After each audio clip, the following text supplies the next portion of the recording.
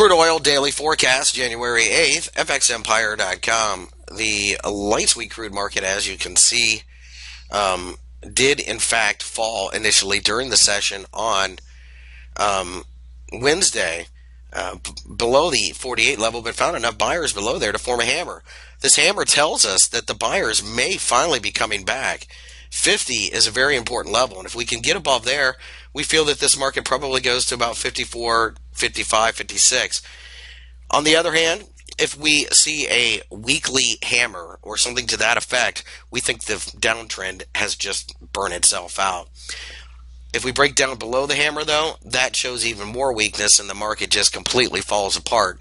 But without a doubt, this market is so one sided now. Sooner or later, we need a relief rally. Looking over in the Brent market, you can see it was much the same move, except for we used a large round number of 50 to form that. Doesn't get any more important than this. So a break above the top of the hammer sends this market looking for 58, maybe 60. And if we can clear 64, that would be confirmation of the trend being broken to the upside and changing one that we can hang on to for a while. Nonetheless, interesting days. We'll have to see what happens.